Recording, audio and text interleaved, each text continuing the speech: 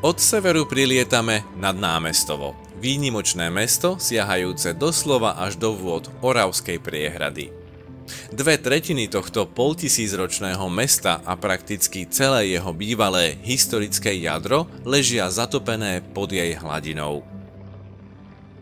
Keď upriamite pozornosť na ľavú stranu, na nábreží uvidíte vybudovaný jedinečný amfiteáter s vodným polkruhom, ešte ďalej vľavo sa uprostred jazera vyníma legendárny Slanický ostrov umenia. Jeho historickým skvostom je kostol z 18. storočia zo zaplavenej obce Slanica, v ktorom je dnes galéria ľudového umenia.